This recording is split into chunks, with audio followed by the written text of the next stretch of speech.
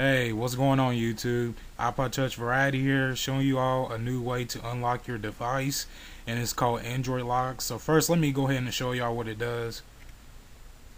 It, replay, it replaces the uh, slide to unlock, and what you have to do, you have to get the pattern correct to unlock your device. Now let's do this again. Now if I get this wrong, it won't it won't unlock it. See? So, uh, of course you got your settings. You could change, whoops, wrong thing. Uh, you could change the way that your uh, pattern goes. So let's say, first you got to confirm the old pattern, which, which I had a square.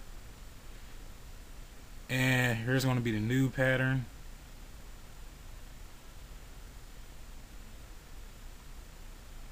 So what I'm going to do, I'm going to lock it again.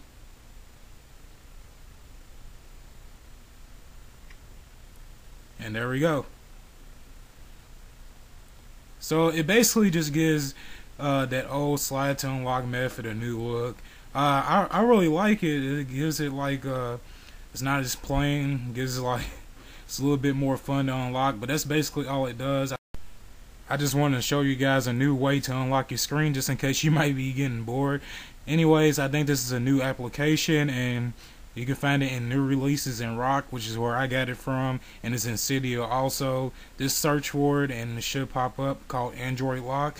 Thanks for watching this video. Hope you all enjoy.